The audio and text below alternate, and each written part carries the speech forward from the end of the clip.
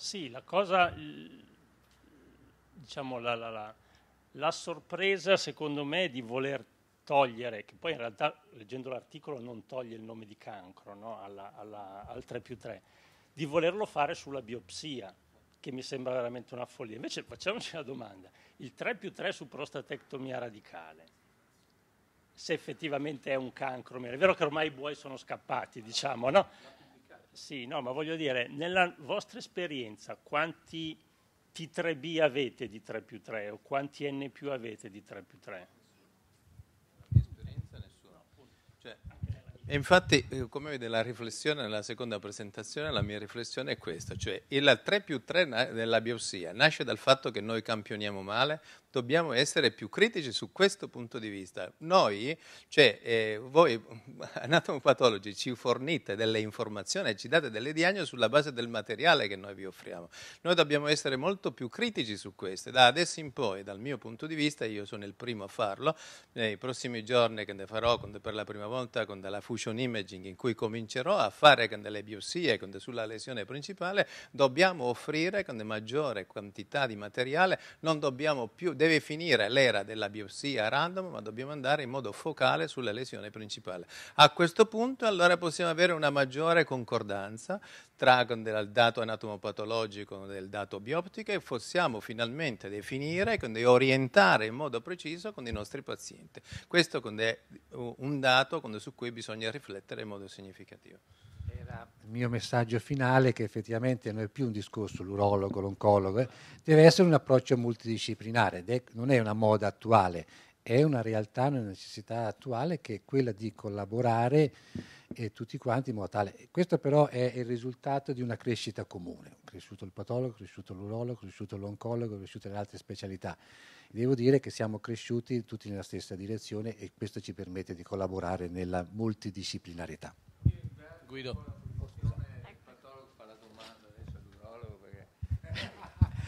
Eh, proprio in riferimento agli interessanti dati che avete mostrato, volevo chiedere al professor Porpiglia un quesito. Lei ha detto che adesso fate eh, in procinto di fare le biopsie mirate e questo è sicuramente, come ha sottolineato, il punto chiave. La mia domanda è, la scelta sarà anche di tipo quantitativo sulle biopsie, cioè sull'area che viene descritta dalla risonanza magnetica o no? E la seconda domanda è, adesso ha citato la modalità con cui voi riconoscete le aree, perché uno dei problemi iniziali, no, quando avevo studiato i primi lavori sulla risonanza magnetica, era che il fatto il paziente respira fino a prova contraria, per cui c'era la, la difficoltà di uh, riportare no, ciò che si vedeva sulle eh, macrosezioni, sulle prostatectomie radicali a quello che voi vedevate la, sulla risonanza magnetica. Come poi lo risolvete nel momento bioptico dal punto di vista tecnico? Problema effettivamente reale. In questo momento non esistono delle, mh, degli orientamenti ben precisi, ma il comportamento unanime è il seguente partendo dal presupposto che la migliore biopsia, almeno dai dati della letteratura, è la saturation biopsy per via transperineal con 32 o 64 prelievi, eccetera. Partendo da questo presupposto, che è la più rappresentativa della condizione della prostata, anche se rappresenta solo il 3% di, tutto il tumore, di tutta la ghiandola prostatica, l'orientamento è la biopsia non va fatta in modo unico, un unico prelievo sulla target, sulla target lesion, ma vanno fatte almeno tre prelievi e comunque bisogna associare i 12 prelievi random su tutta la restante ghiandola. Aumentiamo, ma aumentiamo il numero dei prelievi sulla lesione. Ovviamente tutto questo per un certo periodo, fino a quando non abbiamo affinato la tecnica e fino a quando non siamo convinti, perché siamo in una fase diciamo sperimentale, che è sufficiente fare la biopsia sulla target lesion. Già,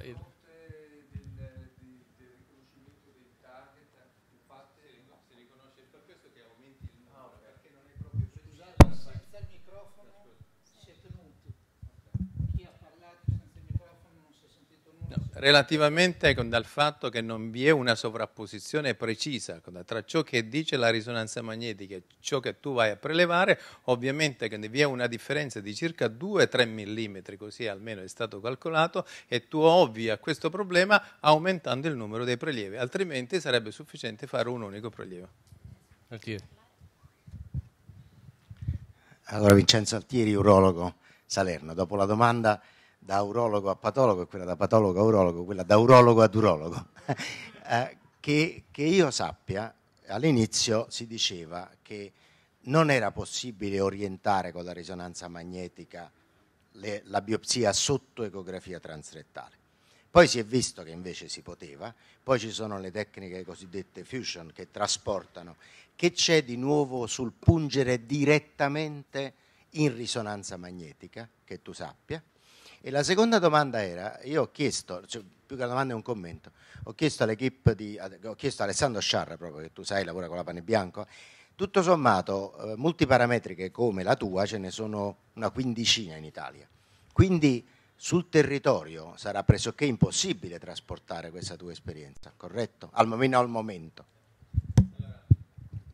La risonanza multiparametrica secondo me cambierà, eh, deve, sta cambiando il mondo della diagnosi del carcinoma di prostata, ma questo sta accadendo in alcuni paesi, nei paesi anglosassoni sicuramente sì, in America anche, ovviamente non sta accadendo in altri paesi come il nostro dove continuiamo a, a, a non fare la risonanza magnetica, non solo dal punto di vista della diagnosi ma anche dal punto di vista della strategia terapeutica. Noi abbiamo bisogno di fare la cosiddetta eh, chirurgia guidata dalla immagine, quindi abbiamo bisogno di avere un'immagine che ci consente di fare la chirurgia più accurata possibile. Questo con la risonanza magnetica è possibile farlo. Vi posso mostrare delle immagini in cui proprio si vede che con la chirurgia robotica è possibile, quando fai una nerve sparing, essere nerve sparing fino a un certo punto, puoi allargarti e poi rientrare, perché la risonanza magnetica mi detto guarda stai largo lì. E vi do anche la dimostrazione che 180 casi fatti senza risonanza risonanza versus 180 fatti con la risonanza magnetica vi è un miglioramento del numero di pazienti che fanno con del nerve sparing, aumento il numero delle linfadenectomie senza peraltro compromettere assolutamente il risultato oncologico. Quindi un miglioramento del risultato sia in termini di funzione sia in termini di eh, eh, precisione dal punto di vista anatomo, della scelta eh, diciamo, chirurgica nei confronti del paziente. Perché spesso il, il bollito mi dice glisson score 7, invece il radiologo mi dice prevalenza del pattern 4, io a quel paziente gli faccio la linfadenectomia e ha ragione la, il risonanzista, il radiologo. Per quanto riguarda lei il passaggio, la, la, la biopsia risonanza magnetica guidata non è eh, cambiato nulla. E siccome la biopsia risonanza magnetica guidata è abbastanza lunga dal punto di vista della richiesta del tempo, ti richiede circa 20-25 minuti e non puoi associare il mapping, allora a questo punto ecco che sono nate circa 12 software che ci sono attualmente in commercio, anzi 13 per l'esattezza, per fare la fusion imaging. E oggi esistono due sistemi che sono abbastanza collaudati, uno di quei sei sistemi sistemi sono venduti in America, sono stati applicati e vengono utilizzati rutinariamente in America, uno a Londra, che, eh, di cui adesso non ricordo il nome, uno ha un braccio robotico, con l'altro si chiama eh, Glob, Gen, eh, Global Gen, che useremo nella prossima settimana, con della precisione, con le bioptiche, con queste lesioni, direi che è molto ma molto elevata. Ovviamente siamo in una fase in cui questi software hanno ottenuto il marchio CE, la sperimentazione siamo, la stiamo facendo noi, ovviamente con le nostre spese. Grazie Porpiglia. Eh. Chiudiamo adesso l'argomento eh, prostata e avviamo quello eh, della eh, parte di sessione successiva. Eh, seguiamo lo stesso ordine di prima, cominciamo con un clinico che ci dà un'idea delle cose che si aspetta dal patologo e poi si fa una conclusione. Quindi adesso tocca al dottor Tucci. Per favore, grazie. Grazie Rodolfo, grazie Enrico. Eh, per me è un onore essere qui, è un onore aver ricevuto questo invito, è un onore partecipare alla stessa sessione con un anatomopatologo di rilevanza internazionale come Antonio ringrazio per la sua gentilezza per poter fare la mia presentazione in italiano, vista la mia scarsezza in inglese. Ehm, punti introduttivi. Allora, ehm, preparando questa presentazione ho imparato tantissime cose, soprattutto sul carcinoma vescicale superficiale. E il primo punto è sicuramente il T1. Il T1 è un tumore eh, con, una, con, una, eterogeneità notevole, lo sappiamo tutti, ehm, stiamo discutendo su qual è il ruolo del subge- substaging per identificare differenti prognost- gruppi prognostici in, in modo da guidare il nostro trattamento, quindi da essere più efficaci nel trattamento. Eh, Antonio, in particolare, per il secondo punto, ci parlerà delle, di quelle che sono le nuove acquisizioni nel grading del carcinoma uroteliale, ehm, acquisizioni che potrebbero in qualche modo accomunare i due sistemi, il vecchio e il nuovo VHO, e soprattutto migliorarli.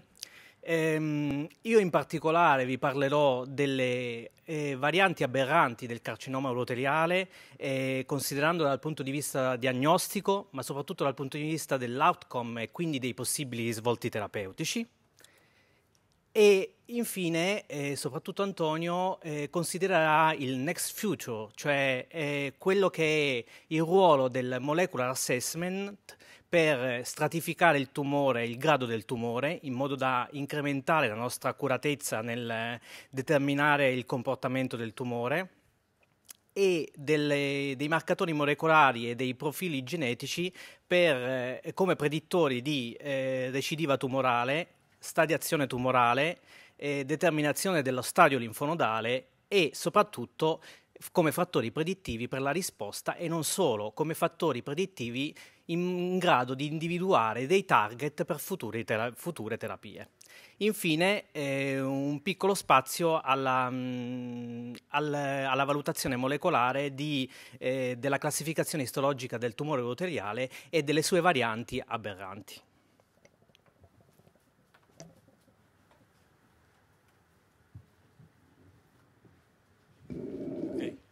Quesiti sono molto interessanti e sentiamo la risposta di eh, Antonio Lopez Beltrán. Lui non ha bisogno di grandi presentazioni, è full professor eh, a Cordoba ed è uno dei nomi, eh, forse addirittura eh, principali in, eh, riguardo alla patologia vescicale. Antonio, we are very honored to have your presentation. Please, you can start. Grazie Enrico, grazie Rodolfo, grazie di audiencia. Eh? News uh, in the bladder, news in the pathological assessment of urological tumors. There's a lot of things. Um, the questions have been presented, and I will uh, go through uh, some of the topics have been dealt with uh, uh, in the afternoon session. The, uh, so we will go a, a, a bit quick, okay? So one of the issues, T1 substaging. That means that the bladder is like this. It's the urothelium, lamina propria, muscularis mucosae, and submucosa. A number of cases, uh, we cannot see really the, the, the uh, muscularis mucosae. Uh, concerning the tumors, uh, we know that uh, TA and uh, T1 are different in terms of survival and so on. So the question is if substaging T1 disease, we can get better data to treat our patients, to, follow, to uh, modify the follow-up, and so on. You see the situation is, uh, uh, is in this uh, slide. You see the muscularis mucosa here. You see tumor inside, tumors after, in tumor in this other side. So the tumor uh, start uh, moving and start invading, and if the tumor goes deeper, and the amount of tumor usually is, is more, more relevant, and uh, there are data suggesting that this is, these cases are more aggressive. We have uh, uh TNM, is the new one uh, the, the, that started in the 2010. And as you see here, uh, TNM only includes T, PT1 and does not produce, uh, does not support uh, substaging in PT1. Why is this? Okay, this may be one of the reasons. You see this uh, uh, uh, number of studies on the reproducibility of PT1, you see there is a lot of weakness in this, in this stuff. For instance, in this particular study, it was a 61% agreement only, which is very low. Uh, you see here in this particular study, 15% of PT1 were uh, to PTA. And this is the, the, the, the reality. Uh, you see here in green is the, the most recent data we have in the literature. It's in the study that we have conducted in, uh, in Europe uh, as part of the European Network of Urologic Pathology. You see, uh, we had only 45% agreement in evaluating PT1 cases by the EU expert from around the world. But we have a consensus of, our, uh, of uh, on the majority of cases in about 70, 72% of the cases, with a kappa statistic of uh, sharp, about 50%. So this is a real problem. Also, if you go to the literature, you see a number of studies with reports on data uh, concerning um, substaging TA, T1A, T1B, T1A, B, and C, depends on the level of invasion. Most of them use the muscularis mucosa as a level. Uh, here's a Cheng study used, uh, as I mentioned in the afternoon by uh, Carlo Patriarca, me mentioned the, the, level measured by um, in millimeters. Okay, so as you see, most of the data, most of the data point, but not all, point out that separation, substaging could be uh, of uh, clinical value. One of the issues is the lack of good reproducibility in assessing the muscularis mucosae, even when we apply immunohistochemistry like uh, uh, the, the, the Smoothelin, which is a good marker, but most frequently does not solve the difficult problem, the difficult cases. So that's where we are. But how, how about if we could improve PT1 substaging? Could, the, could the fa this favor to include uh, uh, substaging in clinical practice?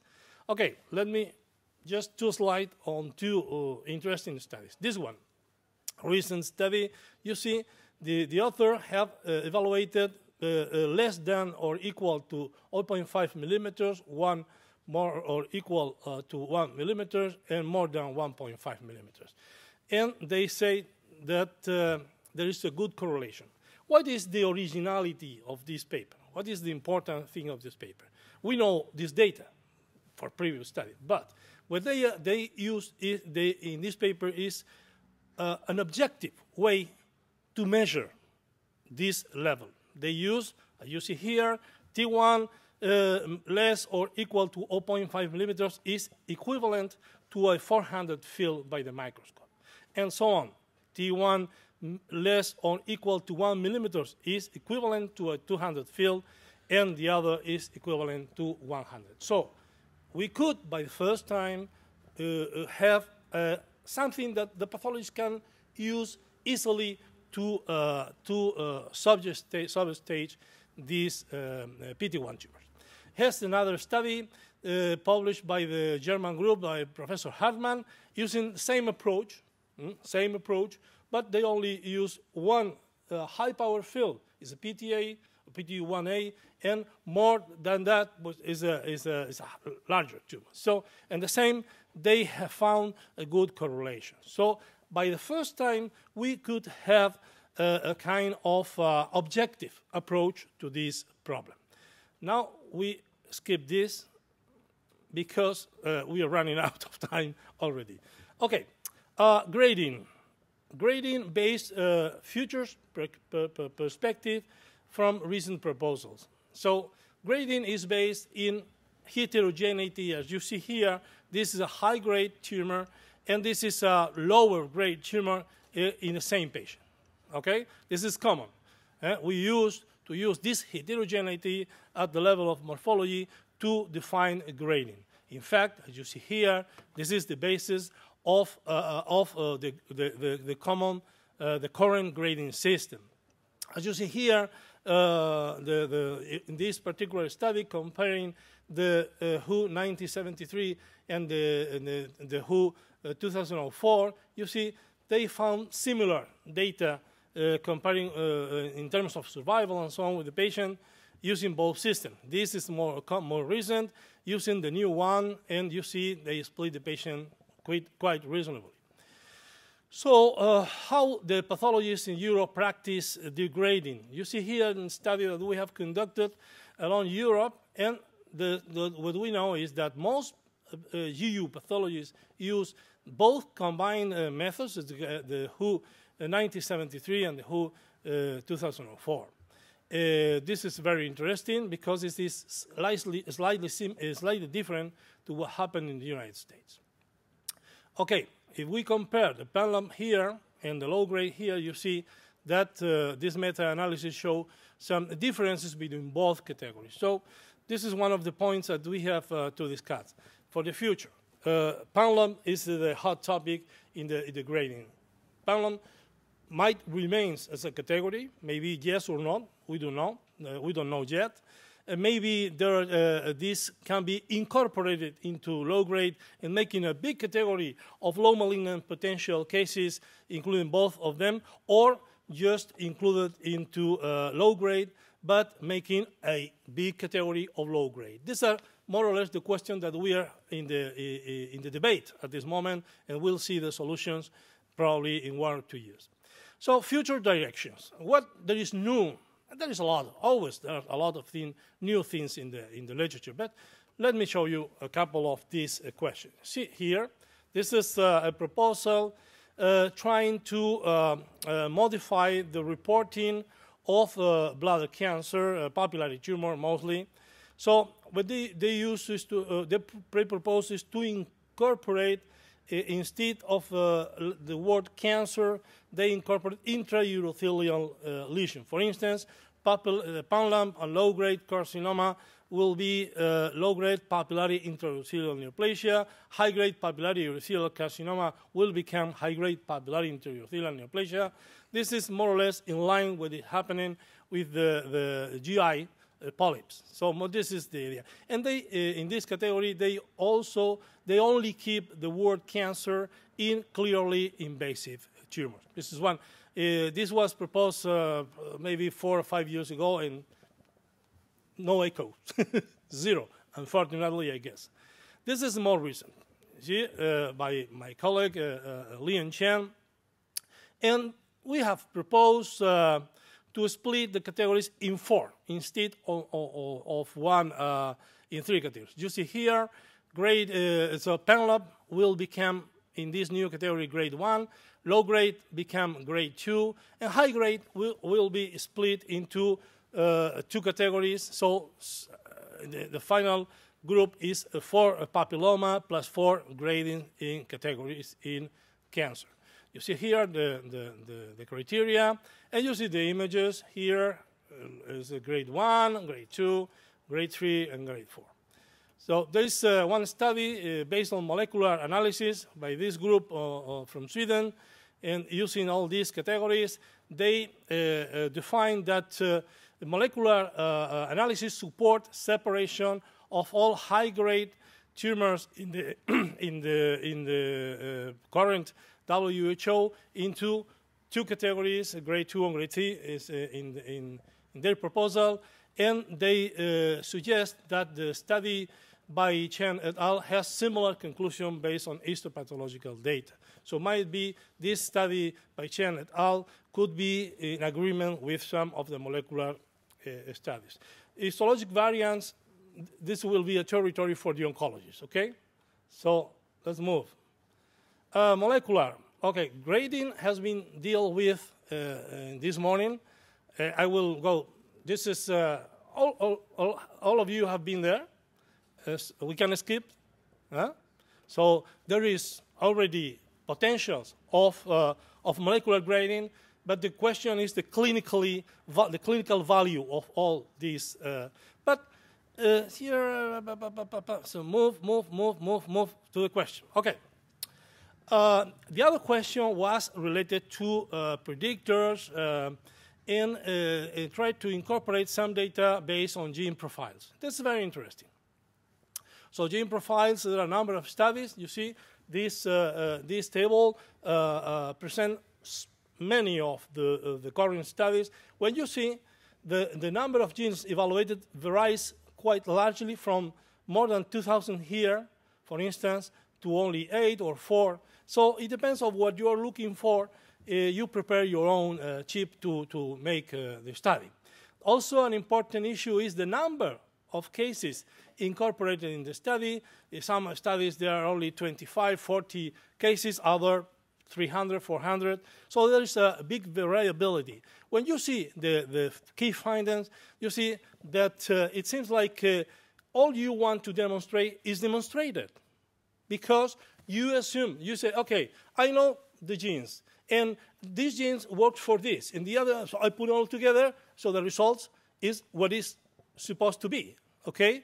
Does not mean this, this technology is not interesting, no, at all. This technology is fantastic. It's very important. It has a lot of future, but the current value at this moment is largely uh, limited because cost, technology, and so on. But, for instance, let's go to some of these studies. For instance, can we separate penland from low-grade uh, carcinoma, PTA, using molecular, uh, molecular studies? This is one study that uh, show, for, show, for instance, the same level of mutation at the uh, fibrotic factor receptor 3, as you see here, and the same level of mutation at P53. This is the study with the, you see papilloma, penland, low grade, with uh, basically there is no significant difference, mean, meaning that the level of, uh, uh, of, of, mutation at this gene is uh, basically similar, if not the same. The, uh, Rodolfo Montironi was part of this study. A very good study. Uh, here's uh, one classic study. Okay, uh, I need few minutes, few few seconds. So uh, this is a classic study, Lindgren one, as you see here, separate in three or four clusters. So separate this this study separates the good, the bad, and those cases in between. Okay, this is the advantage of this particular study. We, we have discussed this before. Uh-huh, uh-huh. Okay, this is a historical paper by Dyrskjøt, only 40 cases, and it was uh, published in Nature Genetics. I remember this paper because we were in the WHO meeting in 2002 when this uh, came out, uh, and we reviewed, discussed, very nice. Uh, and this is, a, I think, is classic study, very important.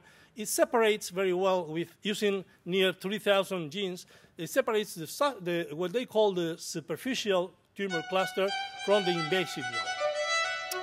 So more or less, we are just to the end, uh, three or four slides. There's no more. There is something also in, of interest. Could we use uh, that mutation at the fibrillary growth factor receptor used as uh, describing a, a mechanism of tumor progression? This is something that has been proposed by this group in the Journal of Pathology, very elegant study. And this is what is uh, very interesting in my opinion. You see here, they find with mutation, with immunohistochemistry and so on, they find uh, like uh, this uh, component low grade and high grade in the same tumor. You see? And the low grade component with the mutation and the high grade invasive lacking the mutation. So there's something that is uh, and, uh, and the only, for the last uh, question, let me move directly to this. This is a very nice study. I like it very much. That's what I brought here. This is a one a study from the Lund group, the, the same Swedish people, and they, they talk about molecular taxonomy, okay? And they, they found using uh, uh, a very large, quite large number of cases and a lot of genes, they have several different types. You see the urobasal A, genomically unstable cases, urobasal B, squamous cell carcinoma-like tumors, and those infiltrating class of tumors. They say that they, these cases can, this distribution can be used for, uh, uh, for stratification, patient for therapy, and so on, better than the pathologic classification because this classification works irrespective of grade and histological uh, assessment of pathological state. So this is something that maybe in the next very few years, this is going to be uh, important, and we have to discuss about that. So thank you very much. Grazie Antonio. Thanks Antonio. Now we finish with uh, Dr. Tucci. Okay. Marcello, final considerations.